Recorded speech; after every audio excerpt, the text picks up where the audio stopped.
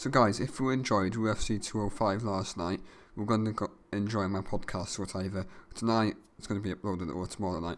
I'm going to record it probably straight after this. I just wanted to, wanted you guys to know that this could be a, UFC uh, podcast. Every time there's a paper on, I'm going to do the podcast, obviously, and talk about start to talk about the people, uh, you know, fighting and talk about all that good stuff and maybe I'll learn some new stuff because I just got started I've just started watching UFC and yeah it's pretty decent so yeah.